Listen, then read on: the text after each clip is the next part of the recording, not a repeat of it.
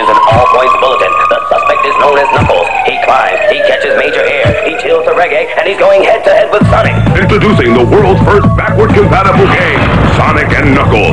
Play through seven zones plus bonus stages against all new enemies. And it doesn't end there. Lock on your Sonic 2 or 3 cart and transport Knuckles to hidden levels in your old games. Sonic and Knuckles for your Sega Mega Drive. Print it at your video store now.